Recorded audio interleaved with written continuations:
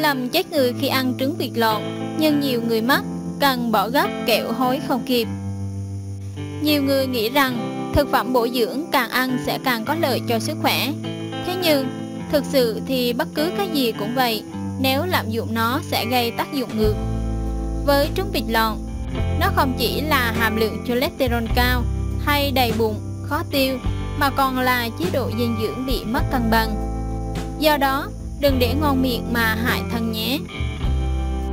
Dinh dưỡng từ trứng vịt lộn Bên cạnh các dưỡng chất như 13,6 g protein, 12,4 g lipid, 82 mg canxi, 212 g phosphor. Một quả trứng vịt lộn còn chứa tới 600 mg cholesterol, cao gần gấp 3 lần một quả trứng gà. Điều đó có nghĩa là nếu ăn hàng ngày, nó sẽ dễ gây ra các bệnh như huyết áp cao, tiểu đường, gan nhiễm mỡ do dư thừa lượng cholesterol. Đặc biệt, người đang mắc các bệnh này dễ bị nặng hơn, tăng nguy cơ bị đột quỵ. Riêng với trẻ em, hàm lượng dinh dưỡng dồi dào trong trứng dễ dẫn đến chứng đầy bụng, khó tiêu. Trẻ dưới 5 tuổi càng khó tiêu hơn nữa. Việc này dẫn đến trẻ biết ăn do lúc nào bụng cũng ở trong trạng thái lưng lưỡng. Cũng vì những lý do trên, tiến sĩ Mai khuyên rằng với người trưởng thành, một tuần cũng chỉ nên ăn hai quả, còn với trẻ từ 5 tuổi trở lên cũng chỉ nên ăn 1 phần 2 quả mỗi lần, mỗi tuần từ 1 đến 2 lần là đủ. Dễ thừa vitamin A Việc hạn chế ăn trứng vịt lộn không chỉ bởi nó có hàm lượng cholesterol cao mà còn vì chế độ dinh dưỡng của chúng ta cần phải phong phú với các loại thực phẩm. Nếu không, dễ dẫn đến mất cân bằng dinh dưỡng.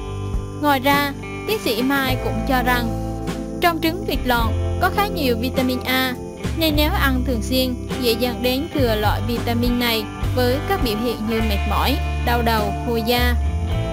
Bên cạnh lưu ý trên, theo tiến sĩ Mai, chúng ta cũng không nên ăn trứng vịt lộn vào buổi tối vì nó dễ gây cảm giác ấm ếch, khó ngủ. Do đó, loại trứng này chỉ thích hợp ăn vào buổi sáng. Khi ăn, bạn nhớ ăn kèm thêm rau răm với gừng. Gừng sẽ giúp kích thích tiêu hóa, còn rau răm thì làm ấm bụng. Tuy nhiên, nếu đang mang thai ở 3 tháng đầu thì bạn nên hạn chế ăn rau răm vì nó có thể gây ra hiện tượng bong, sảy thai. Ăn như thế nào để có lợi cho sức khỏe? Nên ăn trứng vịt lộn vào buổi sáng, tránh ăn vào buổi tối vì hàm lượng dinh dưỡng trong đó cao. Do vậy, là món ăn khó tiêu. Nếu bạn ăn trứng vào buổi tối, khi đi ngủ sẽ bị khó chịu, đôi khi dẫn tới đầy hơi, không tiêu hóa được. Vì là món ăn rất bổ, giàu dinh dưỡng, nên việc ăn trứng vịt lộn mỗi ngày có thể làm tăng lượng cholesterol trong máu, là nguyên nhân gây ra các bệnh về tim mạch, huyết áp, đái thao đường. Mỗi người lớn khỏe mạnh, tốt nhất chỉ nên ăn hai trứng vịt lộn mỗi tuần. Những người bị tăng huyết áp, tiểu đường, viêm gan, gan nhiễm mỡ, tim mạch, gút nên kiêng hoặc không ăn nhiều trứng vịt lộn, tránh tắc nghẽn động mạch, tăng nguy cơ nhồi máu cơ tim và đột quỵ. Phụ nữ có thai ăn trứng vịt lộn không nên dùng với rau răm vì dễ gây chảy máu, sảy thai. Khi ăn trứng vịt lộn thường kèm với rau răm và gừng. Bởi theo đông y, rau răm có vị cay nồng, mùi thơm hắc, tính ấm, tác dụng ấm bụng, chống đầy hơi, sát trùng, tán hàng. Rau răm còn có tác dụng làm sáng mắt, ích trí, mạnh gan có, tránh lạnh bụng, say nắng. Do vậy, điều mà ai cũng thấy đó chính là rau răm sẽ giúp cho người ăn trứng vịt lộn không bị lạnh bụng, đầy hơi, tránh được các vấn đề về tiêu hóa. Ngoài ra, ăn kèm rau răm với trứng vịt lộn có khả năng giảm bớt ham muốn tình dục, đem tới sự cân bằng âm dương cho cơ thể. Gừng tươi có tác dụng kích thích tiêu hóa, mạch tim, giải độc thức ăn, chống suy giảm tình dục.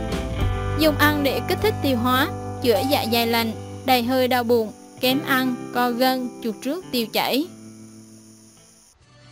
Cảm ơn bạn đã xem video của Sức khỏe tự nhiên. Hãy like, comment và đăng ký kênh bạn nhé. Vì sức khỏe người Việt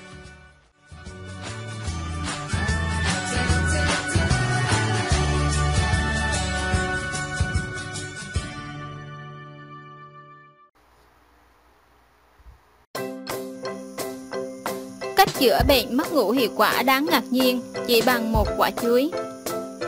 Bệnh mất ngủ thường hành hạ bạn vào mỗi đêm. Video sau sẽ bật mí cho bạn cách chữa bệnh mất ngủ bằng chuối vừa đơn giản vừa hiệu quả. Vì thường xuyên mất ngủ vào buổi tối khiến bạn mệt mỏi về cả tinh thần lẫn thể chất. Với cách chữa bệnh mất ngủ bằng chuối, chỉ cần một trái chuối mỗi ngày, bạn đã có một bài thuốc chữa mất ngủ từ tự nhiên, rất an toàn và không gây các tác dụng phụ cho cơ thể. Cách chữa bệnh mất ngủ bằng chuối Trong chuối có rất nhiều kali và magie, đặc biệt chứa rất nhiều trong vỏ quả chuối. Hai chất này đều rất tốt cho việc thư giãn hệ thần kinh và cơ bắp. Trong đó, magie sẽ giúp cơ bắp được thả lỏng và ngăn chặn tình trạng bị chuột rút. Kali có nhiều trong quả chuối sẽ giúp cơ thể cảm thấy thư giãn, từ đó giúp bạn ngủ sâu vào ban đêm. Nếu bạn sợ vỏ chuối có chứa thuốc trừ sâu, có thể làm sạch vỏ chuối bằng cách rửa nước hoặc ngâm trong dung dịch giấm và nước, hoặc nước muối với chanh. Cách thực hiện Cắt hai đầu quả chuối bỏ đi vì chúng chứa nhiều mũ. Bỏ vào nồi và đun sôi với nước trong khoảng 10 phút. Lấy phần nước đã được đun sôi với chuối để uống. Chỉ đơn giản bằng cách đun sôi một trái chuối và uống mỗi ngày sẽ giúp bạn thoát khỏi cơn mất ngủ, lấy lại giấc ngủ ngon, cho bạn dễ đi vào mộng đẹp. Cảm ơn bạn đã xem video của Sức khỏe tự nhiên. Hãy like, comment và đăng ký kênh bạn nhé. Vì sức khỏe người Việt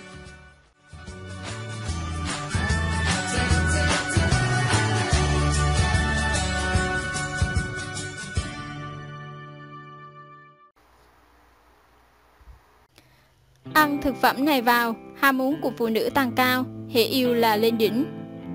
Dưa hấu Dưa hấu được xem là Viagra tự nhiên vì khoảng 92% dưa hấu được tạo thành từ nước, thì 8% còn lại thì lại chứa các chất dinh dưỡng phong phú cho sức khỏe tình dục. Dưa hấu chứa một hợp chất gọi là citrulline, khi dung nạp vào cơ thể sẽ chuyển đổi thành arginine. Arginine làm thư giãn tĩnh mạch máu cho cơ thể, tương tự như tác dụng của Viagra Cuối cùng, tăng ham muốn tình dục. Bên cạnh đó, 46 calo trong một cốc nước ép dưa hấu được xem là một sự bổ sung tuyệt vời cho bữa ăn mỗi ngày. Tỏi Mùi của tỏi có thể là một thủ phạm hủy diệt hoàn loạt những ham muốn yêu nhiều giờ sau khi ăn. Tuy nhiên, tỏi chính là tác nhân làm tăng ham muốn đáng kể cho chuyện ấy. Gia vị cay nồng đặc trưng này sẽ khiến cuộc sống tình dục thêm tốt đẹp vì tỏi làm giãn nở mạch máu, cải thiện lưu thông trên toàn khu vực môi dưới và dưới cẳng chân, giúp chị em chủ động hơn trong chuyện ấy. Mỗi buổi sáng nên ăn và tết tỏi và thường xuyên dùng tỏi như một loại gia vị. Tuy nhiên, trước khi sẵn sàng cho chuyện ấy, chị em kiểm tra mùi vị của riêng mình nữa nhé. Trứng Hormone tình dục quan trọng Các loại trứng da cầm đều giàu vitamin B5 và B6. Cả hai đều có tác dụng duy trì thăng bằng hormone và giảm stress. Ngoài ra, trứng cũng có chứa nhiều cholesterol, một chất tiền thân quan trọng của cả hai loại hormone sinh dục quan trọng là testosterone và estrogen. Trứng gà cũng giúp chị em cải thiện đáng kể vẻ đẹp của núi đôi bằng cách ăn trứng gà hấp với sữa đặc và mật ong. Phương pháp kích thích ham muốn tình dục ở phụ nữ Có chế độ ăn uống nghỉ ngơi hợp lý, tránh lao động quá sức, không phù hợp, tránh lo lắng, stress, luôn giữ tâm trạng thư thái, vui vẻ, không sử dụng các chất kích thích như rượu bia thuốc lá, cà phê, giữ vệ sinh sạch sẽ bộ phận sinh dục, phát hiện sớm viêm nhiễm để điều trị kịp thời. Có chế độ ăn các chất dinh dưỡng chứa nhiều lượng estrogen để tăng cường ham muốn ở phụ nữ, giảm quá trình lão hóa. Món ăn chứa nhiều chất giống estrogen nhất là mầm đậu tương. Mầm đậu tương rất giàu chất phytoestrogen, một chất tương tự như estrogen, giúp tăng cường ham muốn tình dục và giảm triệu chứng mãn kinh, chậm quá trình lão hóa. Nắm bắt và thực hiện đúng kỹ thuật kích thích ham muốn tình dục ở phụ nữ dùng miệng, lưỡi, tay để kích thích các vị trí nhạy cảm của người phụ nữ như môi, cổ vai, gáy, vùng kín sẽ khiến phụ nữ đạt khoái cảm dễ dàng và sẽ cải thiện được đời sống chăn gối tốt hơn. Cảm ơn bạn đã xem video của Sức khỏe tự nhiên. Hãy like, comment và đăng ký kênh bạn nhé. Vì sức khỏe người Việt.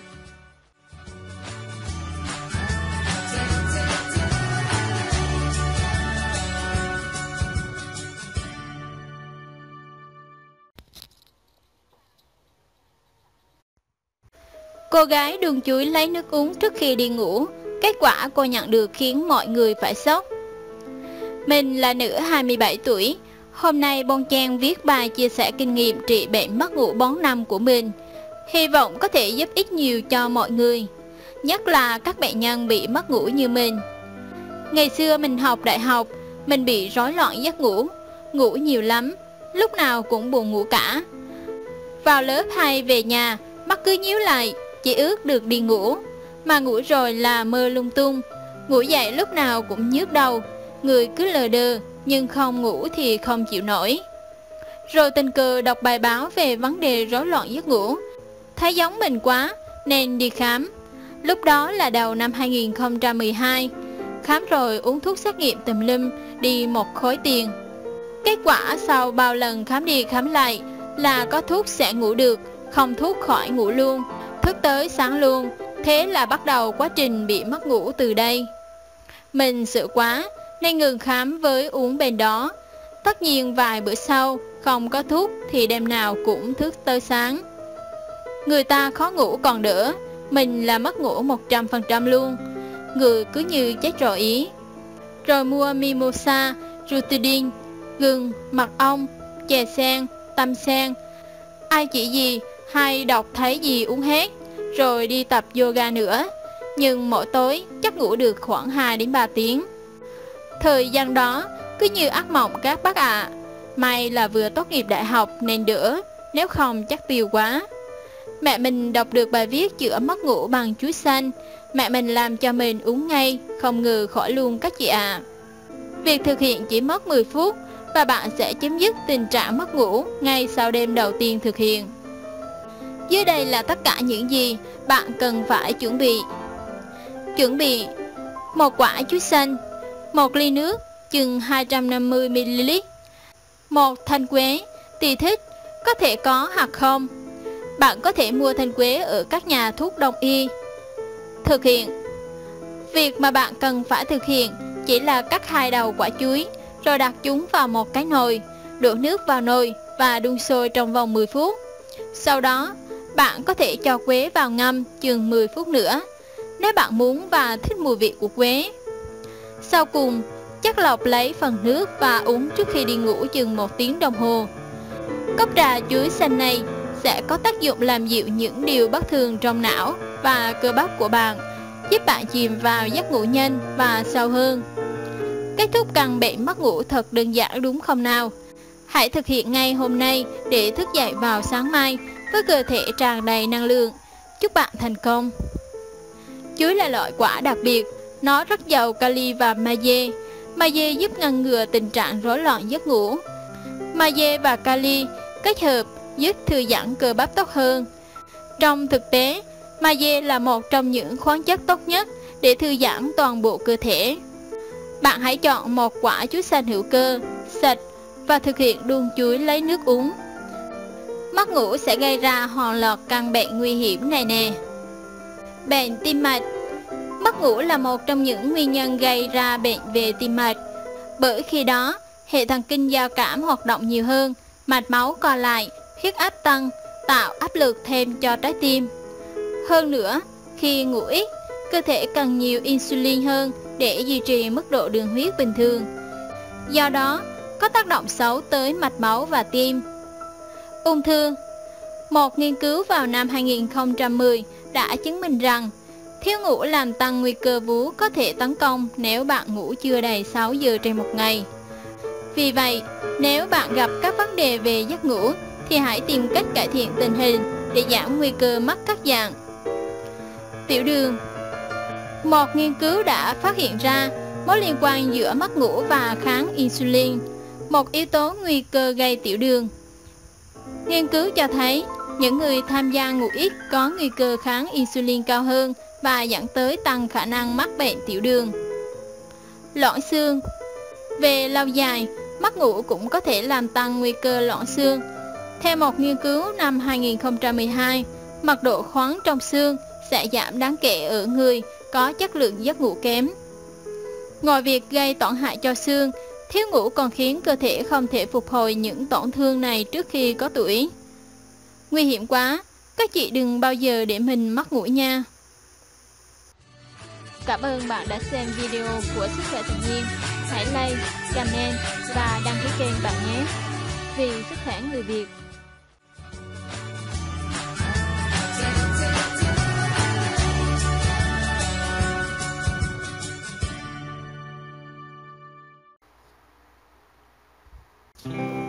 Điều kỳ diệu xảy ra khi uống rượu ổi mỗi ngày. Ổi là loại quả rất giàu vitamin C. Khi ngâm cùng rượu sẽ có hương vị thơm ngon, đặc trưng và mang lại nhiều tác dụng như giảm mỡ máu, tốt cho hệ tiêu hóa. Quả ổi chứa ít chất béo bão hòa và có tỷ lệ vitamin C rất cao. Mỗi 100g chứa 486mg vitamin C. Vitamin C tập trung cao nhất ở phần vỏ ngoài.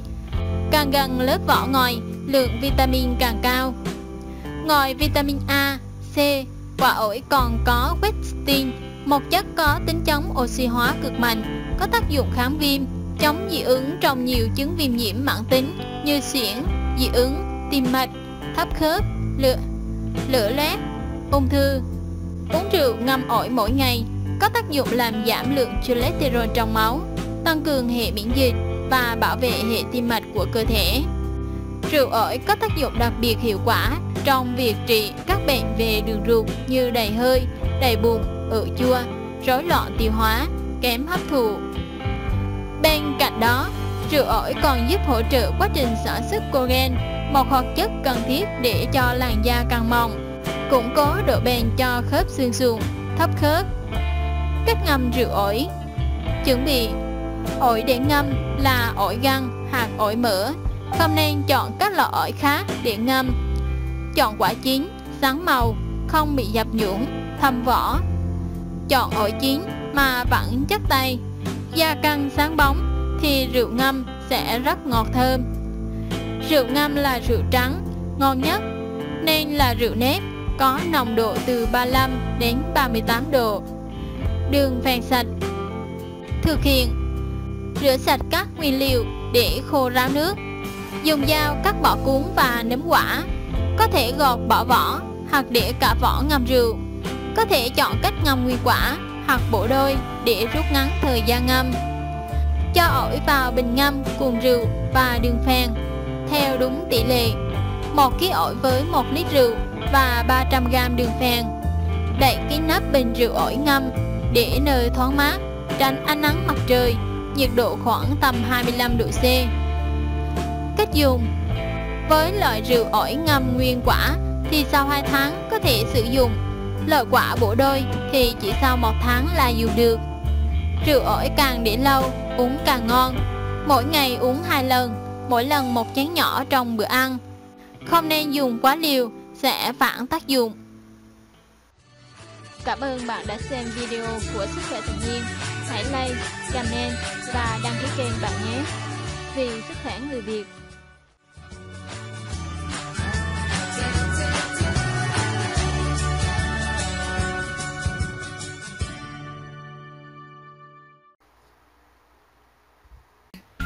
Công thức trị rụng tóc bằng rau dền cực hiệu quả Bạn có tin chúng ta cũng có một công thức trị rụng tóc bằng rau dền vô cùng hiệu quả. Trị rụng tóc bằng vỏ bưởi, nước trà xanh, bồ kết đã quá quen thuộc với bạn rồi. Vậy trị rụng tóc bằng rau dền thì sao nhỉ? Nhắc đến rau dền, bạn sẽ nghĩ ngay đến những món canh thanh mát, những món salad vị ngày hè.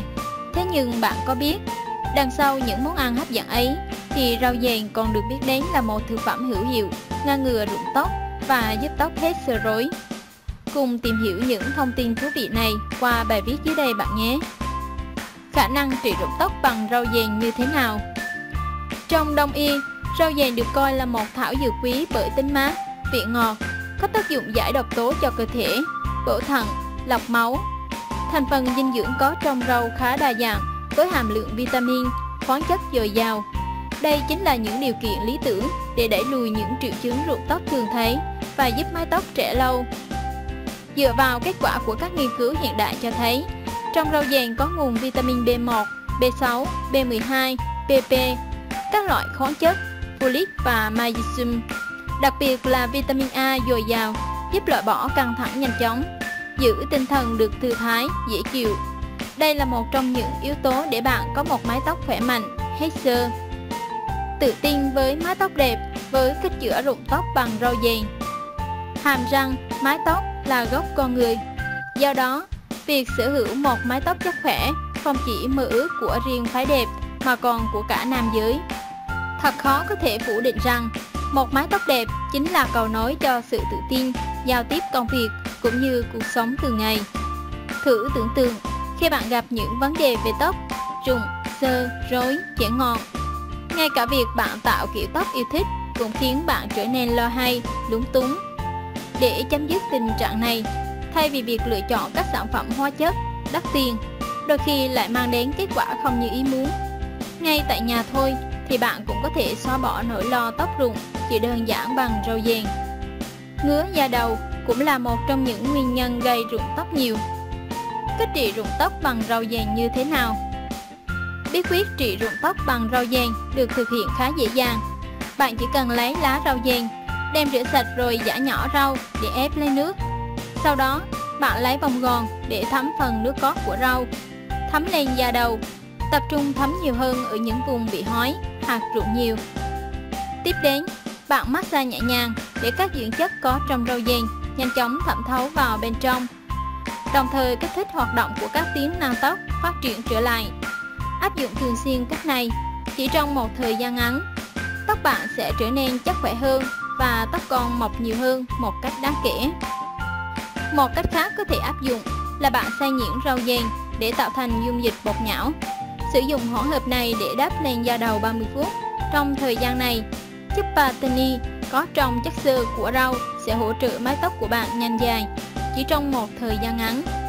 Đồng thời, giúp bạn loại bỏ những căng thẳng cực nhanh. Sau mỗi lần ủ tóc, không ai khác mà chính bạn có thể cảm nhận sự thư thái, thích thú, thú vị này. Một lưu ý nhỏ nhỏ khi sử dụng rau dền để chữa rụng tóc là bạn nên dùng rau dền đỏ thay vì rau dền trắng bởi hàm lượng chất beta-xanthin và chất beta-thiamin có trong rau dền đỏ sẽ giúp quá trình chống oxy hóa cho tóc cũng như phòng chống các bệnh về ung thư, tim mạch tốt hơn. Hy vọng với những thông tin chia sẻ hôm nay về cách trị rụng tóc bằng rau dền đã giúp bạn có thêm kinh nghiệm hay việc chăm khéo mái tóc của mình. Cảm ơn bạn đã xem video của Sức khỏe tự nhiên. Hãy like, comment và đăng ký kênh bạn nhé. Vì sức khỏe người Việt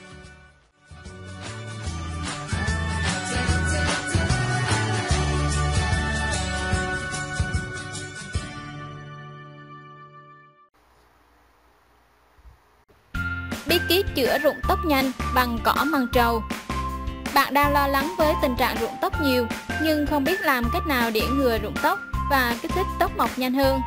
Hãy yên tâm, bí kíp chữa rụng tóc nhanh bằng cỏ màng trầu sẽ giúp bạn xóa tan nỗi lo đó, giúp mái tóc hồi sinh sức sống trở nên chắc khỏe và bồng bềnh hơn. Trong dân gian, có rất nhiều bài thuốc chữa bệnh rụng tóc rất hay và dĩ nhiên không thể không nhắc đến thảo dược trị rụng tóc hiệu quả, cỏ màng trầu. Cỏ màng trầu có tên khoa học là Eleusin indica, thuộc họ lúa, được gọi với nhiều tên như màng trầu, tên khác là ngưu căn thảo, thanh tam thảo, cỏ chỉ tía, cỏ gián, cỏ bắc, cỏ vườn trầu.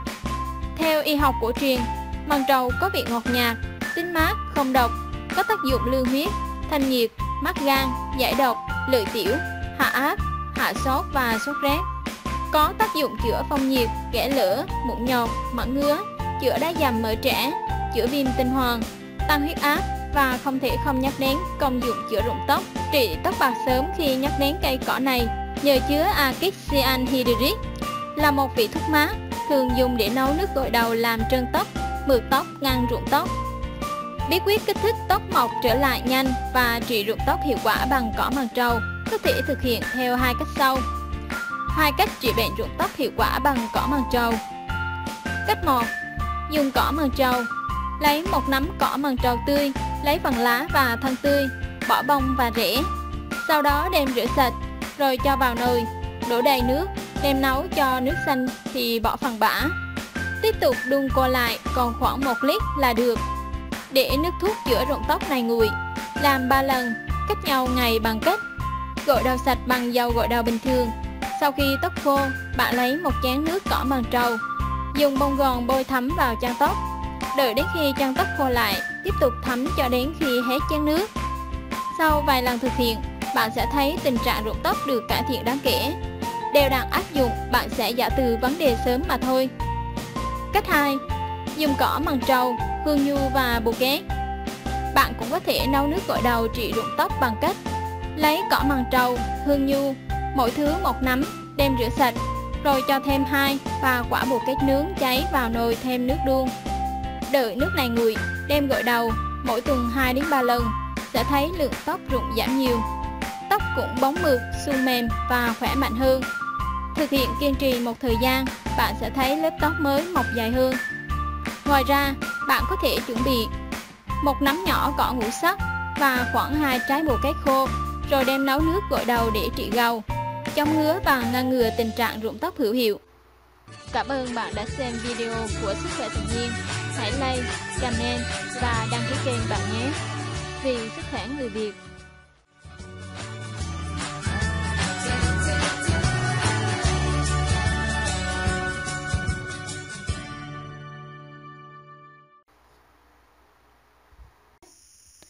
Tác hại khôn lường nếu ăn bí đỏ không đúng cách Trong bí đỏ có rất nhiều chất dinh dưỡng tốt cho sức khỏe Nhưng nếu ai ăn sai cách có thể gây hậu quả nặng nề. Trong số các loại quả, bí đỏ là nhà vô địch về hàm lượng sắt, giàu vitamin, muối khoáng cũng như các axit hữu cơ. Nghiên cứu gần đây cho thấy chất kẽm có trong bí đỏ trực tiếp ảnh hưởng tới chức năng của hồng cầu. Chất sắt lại là nguyên tố vi lượng cơ bản giúp bổ sung lượng máu cho cơ thể. Tuy nhiên, nhiều người không biết rằng nếu lạm dụng bí đỏ, loại thực phẩm giàu dinh dưỡng này có thể gây tác hại phụ nặng nề lên cơ thể con người. Công dụng tuyệt vời của bí đỏ Những chất phyterol là những axit béo omega 3, omega 6 có nhiều trong hạt bí đỏ là những chất có tác dụng làm giảm lượng cholesterol xấu, ngăn ngừa bệnh tim mạch và huyết áp, phát triển não bộ. Bí đỏ chứa nhiều chất axit glutamine, chất cần thiết cho hoạt động não bộ, có vai trò quan trọng trong việc trợ giúp phản ứng chuyển hóa ở các tế bào thần kinh và não, bồi dưỡng não. Tác dụng giảm cân Bí đỏ là một thực phẩm giàu chất xơ, chứa hàm lượng calo và chất béo thấp. Tác dụng của bí đỏ chính là một thực phẩm lý tưởng cho những người muốn giảm cân hay những người thừa cân, béo phì. Tăng cường hệ miễn dịch Bí đỏ rất giàu hàm lượng vitamin C nên có tác dụng tăng cường sức đề kháng cho cơ thể, giúp hệ miễn dịch trở nên khỏe mạnh. Với hệ miễn dịch khỏe mạnh, cơ thể của chúng ta sẽ chống lại được các vi khuẩn, virus có hại. Tốt cho sự phát triển của thai nhi. Những chất trong hạt và hoa bí đỏ giúp cho thai nhi phát triển tế bào não, tăng cường sức sống cho thai nhi và giúp tăng cường những chứng phù nề, tăng huyết áp. Các biến chứng khác khi mang thai và phòng chống bệnh sốt xuất huyết sau khi sinh. Tốt cho xương và mắt. Bí đỏ giàu carotin. Trong cơ thể loại chất này được chuyển hóa thành vitamin A, giúp duy trì thể lực. Chất khoáng và canxi, natri, kali có trong bí đỏ có tác dụng đặc biệt với người già và người bệnh huyết áp, giúp ngăn ngừa loãng xương và tăng huyết áp. Hơn nữa, nó còn chứa magie, phosphor, đồng, mangan, chrome và nhiều yếu tố khác giúp xương phát triển. Làm đẹp da, chống lão hóa Một trong những lợi ích thiết yếu của bí đỏ đối với phụ nữ bao gồm khả năng bảo vệ làn da, giúp da chống lại các tác hại của ánh nắng mặt trời và ngăn ngừa tình trạng mất nước, khô da. Hơn nữa, bí đỏ còn chứa hàm lượng vitamin C cao, giúp chống lại các gốc tự do trong cơ thể, ngăn ngừa dấu hiệu lão hóa như nếp nhăn, các đốm nâu. Thường xuyên dùng bí đỏ sẽ giữ cho làn da của bạn mềm mượt và tươi trẻ. Sai lầm khi ăn bí đỏ Ăn bí đỏ liên tục Theo các chuyên gia dinh dưỡng, bạn không nên ăn bí đỏ quá hai bữa một tuần. Nguyên nhân là do trong bí đỏ chứa rất nhiều tiền chất của vitamin A. Nếu bạn ăn nhiều, chất này không kịp tiêu hóa, sẽ dự trữ ở gan và dưới gan. Do đó sẽ khiến cho chốt mũi, lòng bàn tay, bàn chân dễ có màu vàng.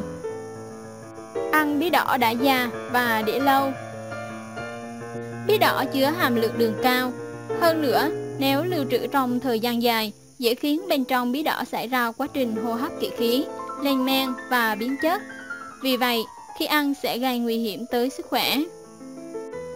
Ăn bí đỏ khi bị rối loạn tiêu hóa một lưu ý nữa cho bạn đó là người bị rối loạn tiêu hóa, hạn chế ăn bí đỏ vì hàm lượng chất xơ trong bí đỏ quá cao, không tốt cho tình trạng bệnh. Bảo quản bí đỏ đã nấu trong tủ lạnh Không bảo quản bí đỏ đã nấu trong tủ lạnh, tuyệt đối không bảo quản ở ngăn đá, vì nếu để lạnh, bí đỏ sẽ ngã sang màu nâu vàng, không an toàn khi ăn.